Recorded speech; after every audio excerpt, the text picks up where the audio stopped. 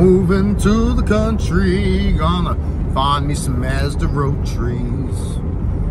So it's another day, we're on the grind, off on the fresh mesh. uh, come along for the ride, come see what we're gonna do. Uh, nothing too hardcore, but this will lead to a pretty hardcore build down the track, I reckon. So um, stay watching to find out what we're up to today. So we're here with the bro Sam. Kia whanau. So it's a 13B bridge uh, with a loud high pitched modification. I believe the motor's run a bearing just due to old age. Um, the car, it's like an old show car this one. How long you had it for Sam? Uh, a couple of months, a few months. And um, basically, Sam, tell us how you want to, tell me the engine package that you wanted me to fit first, Sam. Tell me about that one. well, I wanted to go straight to a uh, 20B uh, PP. And I was given some great advice to not go straight to that and experience uh, a couple other modifications on a, on a, uh, on a 13B uh, through PP. And whilst that uh, can be enjoyed, build the build the 20B. So a bit more of a slower process, but probably a more valuable process to ensure the longevity of the motor. And, and also, Sam, I think it's good to, to teach you on the small motor first because um, the, the little bridgy, like the little the little two-rotor motors, they're still a lot of fun. Um, but the 20B, like Robbie's car, is a flipping monster, mate. Um, I find you've got to tune the ear and, and le learn a bit about like pre-mixing and, and looking after them. But you've You've had performance cars before, eh, Sam? What was your previous cars, bro? Yeah, I totally agree. Well, my current car is a Dodge Ram, which isn't doesn't do uh, much in that space, but that's uh, a good tow car for your Mazda rotary, bro. Yes, it is. A, it is a very good tow car. I've experienced quite a few tows so far, and uh, actually, I bought this back from Christchurch on the back of the Ram, so that was handy. Uh, towed like a dream. Choice. And I've had quite a few 200 SX, 180 SX, the the S13 chassis and uh, right back into the Mazda GDX days. Um, cool. Obviously, all the gearboxes, all those situational challenges, and it was always a long life dream for me to have a uh, not just a rotary, but more so RX3, and and how better to uh, you know drive into your dream with uh, having a couple of months and then the motor um, does what it does and breaks. So important thing is the process of uh, putting this new motor in so we can get back to that, uh, you know, driving around before we get ready for that, that track car, street car uh, type situation. Yeah, that's my, that's the plan there, brother. Man, you guys have seen me pull a, pull a few motors out already. Like how many times have we pulled that engine out of that bongo van? I've lost count. Um, so I don't know. Sam's seen a couple of the videos, Sam, and, and you've kind of, you've reached out to me and said, hey, you want to come work on my car? Yeah. So, um, I guess kind of my work speaks for itself and people see what I'm up to. Um, and, the, and, the, and the boys are keen to kind of get into the rotor life. Yeah, can't uh, wait to do some burnouts.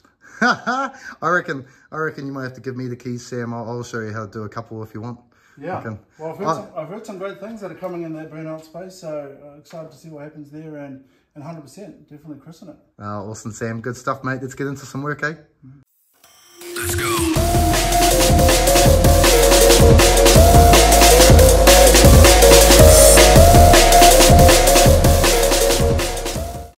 So these are some, holy shit. I gotta show people this, Sam. I'm not giving you shit when I say this.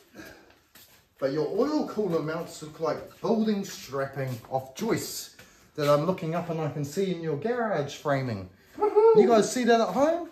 That's some classic Kiwi ingenuity right there. like, it doesn't get much more much more Kiwi than that. Um, Looks like maybe an aftermarket. It's still quite a sexy polished one. Yeah. So I'm guessing it's one of the aftermarket ones that one of the local suppliers sells. So not mega expensive to replace, but um, for peace of mind and because we're putting a new motor in, I, I, we still may look at replacing it, Sam. Okay. I, I'd use it for a fresh car or like a backup jobby, but it's when we're about to invest like good money into a new motor combo, if we even if we get a cheapie like, well, We'll just buy a semi-decent one to get you going. Even the same kind of thing like that again. Yep. We'll do the, any- something that will just... Most of the, even those Chinese ones seem to do the job okay.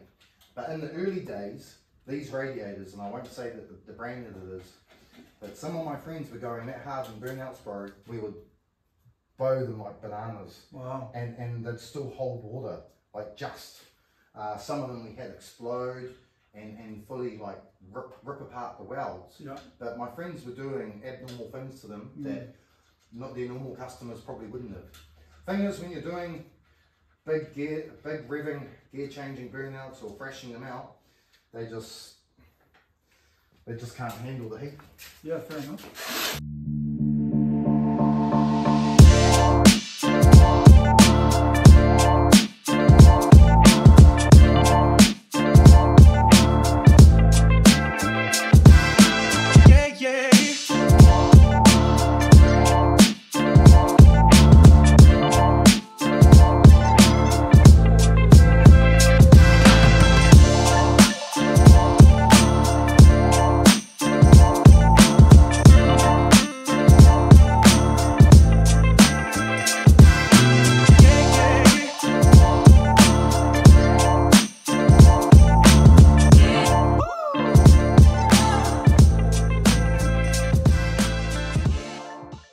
Looking through the exhaust ports there and the apex seals were all still intact which is a good sign.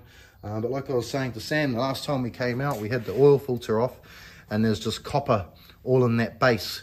Like not big shrapnels like what i've seen before when i've run a bearing um, but real heavy fine gold dust. So i think i'll cover this when i pull pull it down with Willie maybe. If Willie's sweet when i when i if i film that maybe i don't know. Um, but basically we'll go through and see, give Sam the news and, and go from there of what he wants to do. Uh, Sam, thanks heaps for letting me um, film your project, bro. Um, it's got a, got a bit of work to do to it. Like it, it's been done up like a long time ago, this car. So it's got a few battle scars from some of the previous owners that have been a bit hard on it. But it's got some really good fruit. Like someone's gone around it, possibly like the Pack Performance bezels, the um, maybe a new bumper because the bumper's pretty tidy, and then the, the grill as well. I noticed was really good in the badge. I'm, I'm sure that might be the Pack Performance reproduction items. If anyone out there knows, maybe you just let me know.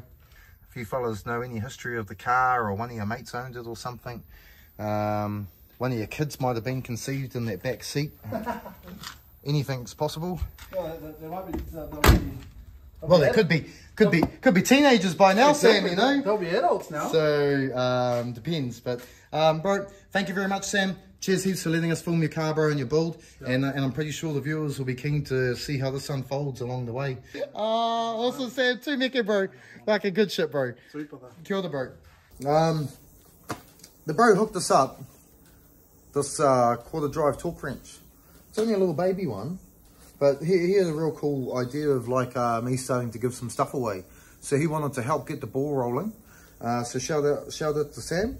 Um, I won't mention his business just yet. We'll keep that private. We'll see how the bro, the bro goes if he wants to progress with that. But um, so Sammy's a good bugger that I've got to know just through some friends of friends and stuff like that. Um, but anyway, I've got to think of something for one of you lucky guys or girls out there to receive this. So I don't know what I'm going to do yet. I feel like um, I feel like you need to message me. Maybe tell me why you deserve it. Tell me why you need that torque wrench in your life. Now you might not be able to. I don't know about messaging me on YouTube.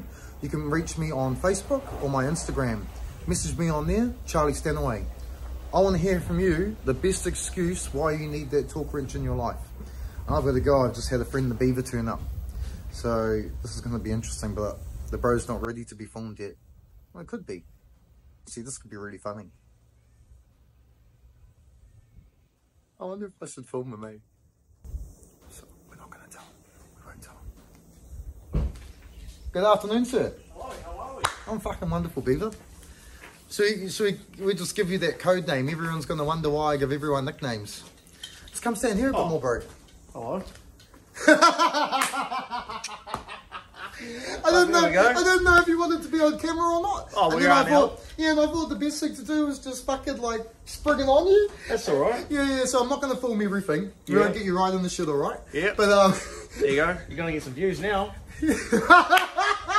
So, give us just just introduce yourself to my channel briefly, Beaver. Uh, Beaver's an old workmate of mine that I've got to know. Should have probably bleeped that bit out, but that's all right. I'm not really fucking worried about You're that gonna, you're a lot more worried about than bleeping just that out. I don't know if there's anything to bleep this guy out enough. I might have to stop filming now because he is so raw that I don't know if you guys are ready for the Beaver yet. Like, he's a speedway guy. He hangs around Waikaraka Park, so he's a real sick deviant. Um, you've just walked into my, my weekly wrap, well, not my weekly wrap up, but my daily wrap up of the shit that I've been up to today. There you go. Just got better then. I was just looking for those before when I lifted that motor out. And that's where they were. Um, BB, you know what? I'm going to save you for another time because we got a bit of we got a bit of catching up to do. We do. And it's going to be explicit, and it's going to be far too explicit for camera, unfortunately. You might get Um, banned off Facebook or whatever that is. Uh, this is all going on YouTube, bro. Oh. You're gonna get Yeah. banned off YouTube if that Yeah, happens. uh, Beaver, I've decided that Beaver was Beaver's going to be a special guest star. I just don't know when yet. Um, I'm possibly I see the bro is going to a memorial night in Huntly for a bloke called Dirty Keith. Dirty Keith uh, used to come to the burnout comps with me and Billy uh, up north in Dargaville. Uh, he'd do a bit of all sorts of motorsport, uh, but how I know him is through burnouts and men's night promotions. Uh, we won't get into that, but um, as you can explain, this title's pretty self-explanatory. Um, and everyone used to know the Bros Commie back in the day around the burnout scene. Well, that's how I know him. Turns out all the boys know him from Speedway as well. Um, so th- there's bros like that that have been huge influences on all of us growing up in different ways.